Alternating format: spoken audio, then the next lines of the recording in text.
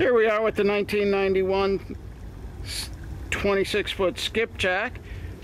Gonna see how she sits out on the water.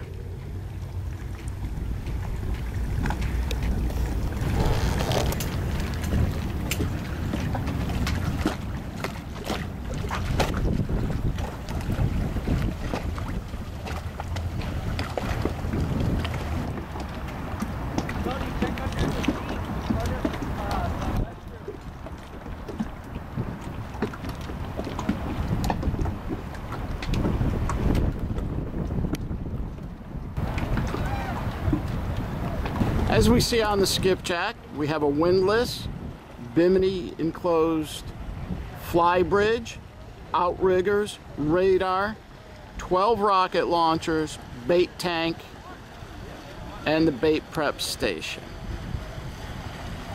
We've got brand new bottom paint on her, and the engine was redone in 2008